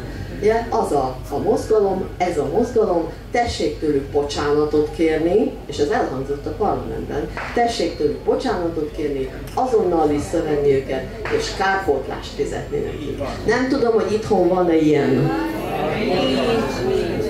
Jó, jól van. Szóval ezek, ezek nagyon fontos dolgok, és ezek a közállapotok hatnak a gazdaságra. És akkor el kell mondanom, hogy ez a társadalom azért nagyon sok katasztrófával küzd, valljuk be őszintén. Hát ugye a rendszerváltás volt mindjárt egy katasztrófa, mert nem volt rendszerváltás, tehát erről, erről beszéltünk. A devizahitelezés, a földeladások. Én nem tudom, hogy önök, önök van-e önök közül, aki emlékszik arra, hogy én 10 évvel ezelőtt kampányoltam azért, hogy ne oldják fel a külföldiek földvásárlási moratóriumát. Hát le is lettem tiltva, persze, de amit látják, még mindig itt vagyok egyelőre, hát, és nem szándékozom meghalni, és csak most mondom, hogy tudják, hogy, hogy ezt el kell mondani. Ugye a, a földek el vesztegetése, a külföldieknek való eladása. Én úgy tudom, hogy a zsebszerződéseket soha nem számolták fel, hogy igen? Nem tudom. Mondják, hány ezer hektár föld van, magyar föld külföldi kézen. Azt kérem, nem a magyar gazdaságnak hoz hasznot, és az nem a magyar gazdaságnak teremt élelembiztonságot. Márpedig az élelembiztonság az egy nagyon fontos koncepció, amiről most már nagyon sokat beszélnek, főleg az ukrán dolgokkal kapcsolatban. Erre oda kell figyelni. Aztán a társadalom tökéletes megosztása, amiről beszéltünk mostanáig, hogy mindenki mindenkinek farkasa, és bocsássanak meg megint, ha megsértek valakit. Az én tapasztalatom az, és lehet, hogy nincs igazam, de az én tapasztalatom az, hogy bizony nagyon sokan belerúgnak a másik magyarba, és hajbókolnak a külföldi előtt. Hogy ezt az 500 év gyarmati lét hozta létre, és annak a reakciója, azt nem tudom, de így nem fogunk egyről kettőre jutni, az biztos. Baj van az egészségügyel, hát van, aki nálam kvalifikáltabb, hogy erről beszéljen óriási baj van az oktatással, ugye minden második évben van talán ez a pizai felmérés, ahol a négy éven, minden négy évben köszönöm szépen, és én úgy tudom, hogy most a legutolsó valami egészen gyalázatos eredményt mutattak a magyar diákok.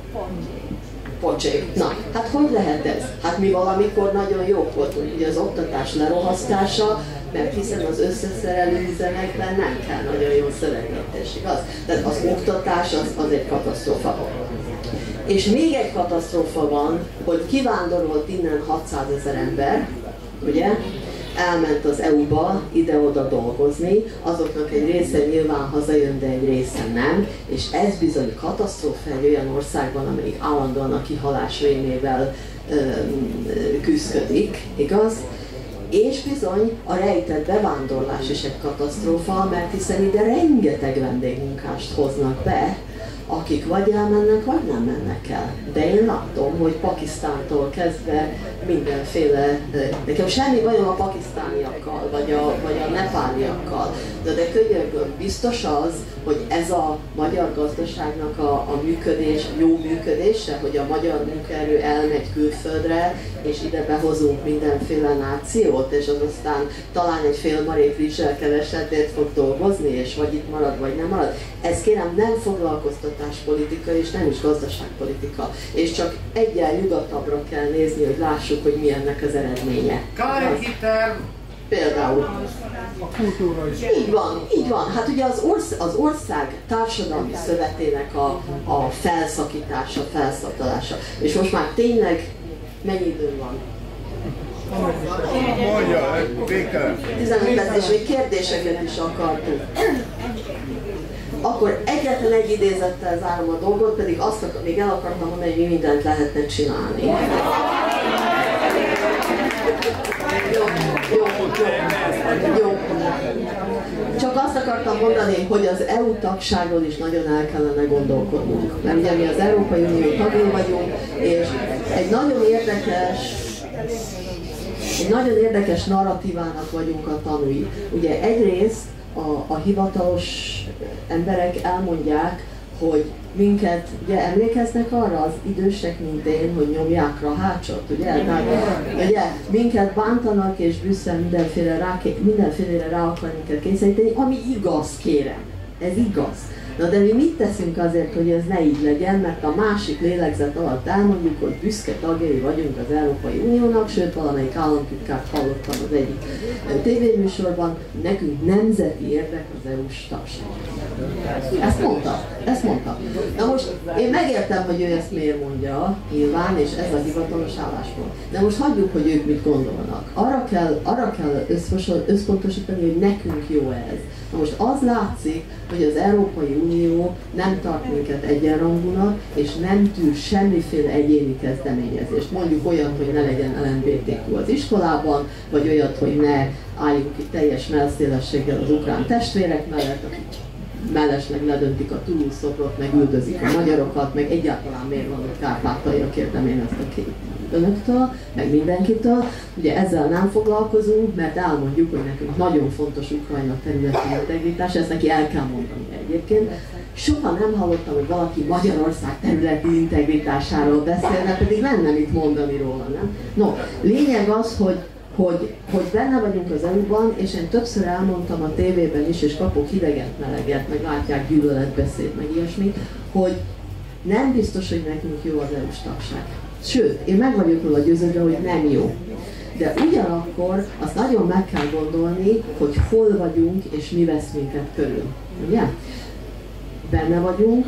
Trianon miatt a szomszédaink nagyon örülnének, hogyha itt lehetne még egy kis kirándulást tartani a jelenlegi magyar területen, biztos nem mindenki, de van olyan, mert nekem még mondták 15 évvel ezelőtt Pozsonyban, akik nem tudták, hogy magyar vagyok, azt hitték angol vagyok, és azt mondta, hogy hogy tudom-e, hogy mi a három halom a szlovák címerben. Nem, mondta, nem tudom. A tátra, a fátra és a mátra, ami sajnos mindig a magyaroknál van. Ez elhangzott. Na mindegy, nyilván nem mindenki úgy gondolja, de van, aki igen. Na most azt kell megnézni, hogy be vagyunk szorítva, ugye, mint Horti is be volt szorítva, hiszen balra vannak a, a germánok, a németek, ugye, és jobbra vannak a szlávok, és mellettünk van egy Ukrajna, ami vagy megmarad egészben, vagy nem, de akárhogy is van, ő belőle NATO tagot akarnak csinálni. Ami azt jelenti, hogy mi be vagyunk ékelve, ugye, különböző NATO tagok közé, az ő fegyveres erejükkel, és a, az ukrán földet és természeti kincseket nagyjából már felvásárolták az amerikai nagyvállalatok. Ezt gondolom mindenki tudja, hogy az ukrán föld és természeti kincsek és bizonyos gyárak nagy része ukrán, ö, bocsánat, ö, amerikai kézben van.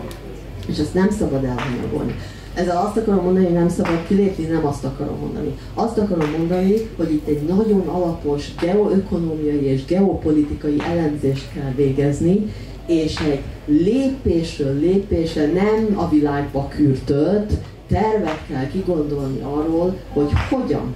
És az biztos, hogy bárhogyan is lépünk ki, az Isten megsegít minket, meg kell erősítenünk ezt az országot. Tehát azokat a dolgokat, amiket eddig mondtam, hogy egy kitett gazdaság és egy szétvert társadalom, azzal nem lehet neki menni ilyen geopolitikai és geo, geoökonomiai kihívásoknak. Itt bizony egy paralel társadalmat kell felépíteni, és itt kihagyok egy csomó mindent, amit el akartam mondani, de arra térek rá, hogy mit lehet csinálni. Ugye mert mindig azt mondják nekem, hogy jó, jó, de mit lehet csinálni? Csak azt lehet csinálni, hogy ezeket a dolgokat meggondoljuk, és a civilek elkezdenek szerveződni. És hogyha a civilek elkezdenek szerveződni, és erőt, belső társadalmi erőt tudnak felmutatni, akkor talán a kormány is észreveszi, hogy ez nem jól van, és mint hogy a franciák most észrevették, hogy az afrikaiak már nem olyan hogy mondjam, együgyűek, mint eddig. Talán a mindenkori uralkodó osztály is észreveszi, hogy a magyarok sem olyan együgyűek már, mint eddig, és bizony neki kell állni szakmai szinten ennek a lépésről lépésre való tervnek a kidolgozását, mert ha most azt mondjuk, hogy holnap kilépünk, kérem, ki vagyunk téve, élelmiszerbiztonságunk nincsen, a vizeinket külföldi kézbe ki tudja miért, a társadalom megosztott, a NATO itt van, ezt nem lehet 24 óra alatt megcsinálni. Mert nekem, és gondolom önök egyetértenek velem, az a lényeg, hogy minden magyar megmaradjon, és itt egy csepp magyar vér se hújjon se itt, sem az elszakított területekben területeken. És ezért, köszönöm ezért nem lehet így hűbele Balázs, hanem neki kell állni egy nagyon alapos és nagyon körültekintő tervet kidolgozni, és egy paralel civil társadalmat felépíteni, és paralel gazdaságot felépíteni. Kezdődhet olyan kis dolgokkal, hogy nem a spárban fogok vásárolni. És soha nem teszem alába milyen helyre, én a piacon szoktam vásárolni, és mindenki mindenkit biztatok arra, hogy a termelőket keresse meg. És igen, és amiben lehet, magyart vegyen, és hirdessük egymás termékeit, és fogjunk össze. Most erre nem tudok részletes receptet adni, hogy hogy fogjunk össze, de én azt gondolom, hogy mindenki a maga területén megtalálja azt a pár embert, akivel össze tud fogni. A kilépésre pedig nagyon gondoljanak, mert szerintem ez így nekünk nem jó. Most már pénzt se küldenek, viszont mindenre rá akarnak minket kényszeríteni. Ez egy gyarmati státusz, ami nekünk van. Ezt meg is írták egyébként, ezt fel akartam olvasni, mert nincs idő. De az a lényeg, hogy mit kellene csinálni átgondolni, átlátni és felépíteni egy paralel gazdasági és civil társadalmat. És higgyék el nekem, és ezzel fejezném be, ugye ismerik a Tenger című versét, ugye Petőfinek, hogy, hogy ha bár felül a gája, alul a víznek állja. És ez kérem így van, és mi vagyunk az a víz, és azt a gáját nagyon könnyű igazából felborítani, hogyha valamennyien összefogunk. Elnézést kérek, hogy ennyit beszéltem, és köszönöm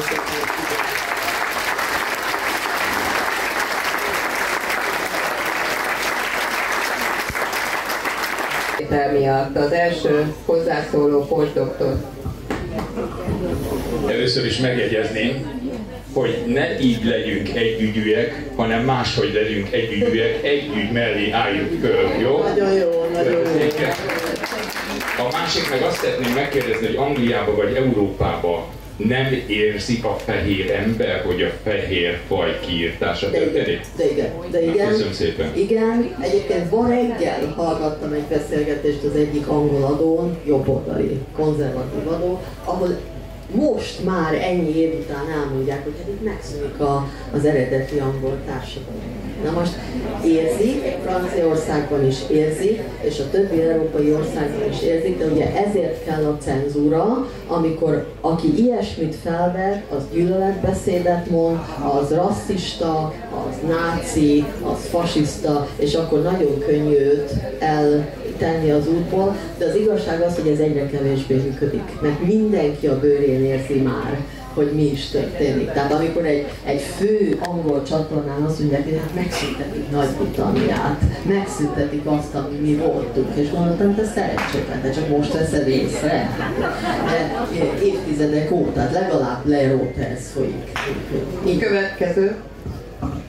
Andrea, kedves, arról beszélünk akkor egy kicsit, hogy ez a önszerveződő társadalom, amiről ugye beszélünk, ami nyugaton talán működik, mert én nyugaton sem nagyon látom, azért ott is azt látom, hogy elsősorban a pártokrácia kezében van a hatalom elsősorban, lehet, hogy tudnak nyomást gyakorolni, Ugye ez az ön, önszerveződő társadalom milyen eszközökkel tudna Magyarországon megszerveződni, mert a társadalmi atomizációt látjuk, azt is látjuk, hogy hogyan tudtak egymás ellen fordítani bennünket, de azért ugye legtöbb magyar lelkébe él, ugye, hogy, hogy kétféle magyar van, ugye van a kuruc és van a labanc, ugye a labanc az mindig elutasítja a nemzeti önállóságot, és mindig valami hatalmi központhoz ragaszkodik, ugye? Régen ugye a császárhoz ragaszkodott, most a pénzvilághoz. A kuruc ezzel szemben ugye a saját alkotmányosságunkat akarja, a saját ö, ö, szerveződésünkben gondolkodott. Hogyan lehet visszaállítani, és a kurucságot, hogy így mondjam, összeszervezni. Ebbe adj nekünk tanácsot. Köszönöm. Ez, ez, ez, ez egy nagyon ez a legfontosabb kérdés, ez egy nagyon nehéz dolog, mert én úgy látom, igen, Angliában egyébként meg nyugaton vannak civil szerveződések, még úgy is, hogy üldöztetésnek vannak kitéve, de nincs bennük az a mélyen gyökerező félelem, ami ebben a társadalomban él, és nehogy azt higgyék, hogy ez most értékítélet, vagy elítélet, én is vagyok. De mennyire? Hanem látom, látom, tehát az emberek félnek és elmondok önök, bocsásson meg, el kell mondani egy anekdotát. Ez évekkel ezelőtt volt egy taxiban ültem itt Pesten, és tarlós volt még akkor a főpolgármester, és valamit elrendelt a taxiknak, nem emlékszem már. Mit lényeg az, hogy a taxisok kimentek tüntetni ellenőrnek. Nem, nem a taxis blokkád, ez, ez nem, nem, nem. Nem, valami, hogy, hogy fessék be, vagy tegyék föl, nem tudom. Ez évekkel ezelőtt volt. Lehet. És most meséli ezt nekem a taxis, hogy mit tudom én, hétvégén tüntetés lesz. Taxis, taxis tüntetés. És mondom, hát akkor maga is ott lesz. Én? Dehogy is. Hát mondom, miért maga egyetért a rendelkezéssel? Nem, hát dögöljön meg, mit tudom, mit mondod. Na mondom, akkor miért nem lesz ott? Azért, mert tudja, ott nézni fogják a rendszámokat, és akkor fölírják a rendszámomat, és mindenféle megtorlást foganatosítanak. Nem ilyen elegánsan mondta, de ezt akartam mondani. A másik pedig az, hogy amíg a többi hülye tüntet, addig én több fogak fogok összeszedni. Ez a beszélgetés, hölgyeim és uraim, valóban megtörtént. És ezt azért mondom el, mert ilyenek Hát ezt nem akarom hogy vagyunk, mert nyilván nem ilyenek vagyunk, de a társadalom bizony ilyen. Na most hogy lehet ezt áttörni? Ehhez tulajdonképpen pszichológus kellene, ami én nem vagyok. De azt gondolom, ez az én receptem, ami fájdalmas, meg lassú, meg nehéz, de nem látok másokat.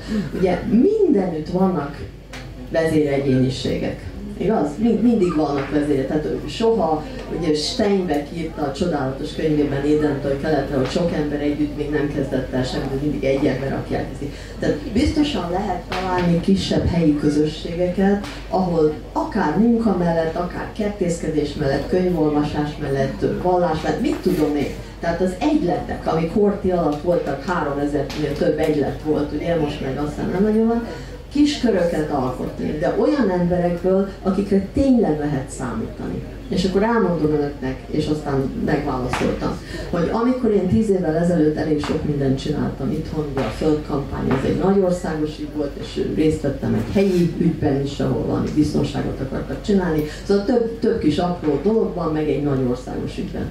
És bocsássanak meg, hogy ezt elmondom, de egyet, lehet, hogy nem volt szerencsém egyetlen olyan szerveződést se találtam, ahol ne lett volna ott a hivatásos hátramozdító, a besúgó, ezt már mondtam itt többeknek, a, a beépített, stb. Most arra nagyon kell vigyázni, ezek nagyon gyorsan szétvernek mindenféle kezdeményezést, mert ez a dolguk. És nem nehéz, mert az emberek félnek és bizalmatlanak. Én arra nem tudok receptet adni, hogy hogy kell ezeket kiszűrni, én egy idő után tudtam. De ugye ezt meg kell tanulni. És ha kevesen vagyunk, az még mindig jobb, ha öt jó ember van együtt, mint hogyha 15 ilyen-olyan. És hogyha a kiskörök megtalálják egymást, és esetleg találkoznak, és esetleg publikálnak valamit. Ugye ez a szerveződés, amit én mondok, hogy többen vannak, mint 15-en, de ugye van egy honlapjuk, rendszeresen küldenek e-mailen hírleveleket, segítenek is, hogy nem akarod, hogy ezt a rendelkezést meghozzák, meghozzák, hív, akkor hívd fel, vagy küld el ezt a levelet az önkormányzati képviselőnek. Na most itt küldhetik, én ezt tudom nagyon jól, de ott muszáj, tehát ha én a saját kép, parlamenti képviselőnek küldök egy e-mailt, köteles válaszolni köteles válaszolni, ez nem teheti meg, hogy semmibe vesz. Én azt hiszem, hogy ez itt nem egészen így van, de, de ha elég fórumot tudnánk létrehozni, érték? Fórumot, akik bizonyos ügyekben össze tudnak kapcsolódni, akkor azért el lehet valamit kezdeni. De ha mindenki fél, és én megértem, nézzek, nézzek, én is félek néha attól, hogy egy szép nap balesetnél, például ugye, véletlen baleset, vagy, vagy, vagy nekem jön egy vatkan, tudják. Úgyhogy, úgyhogy persze, de az ember nem félhet örökké, ki mondta azt, hogy gyáva népnek nincs hazája. Nem. Na, nincs, már, nincs varázsreceptem. Csak is helyi szerveződéssel lehet szerintem elindulni olyan emberekkel, akiket ismerünk. Nincs varázs. Akkor munkára fel! Hát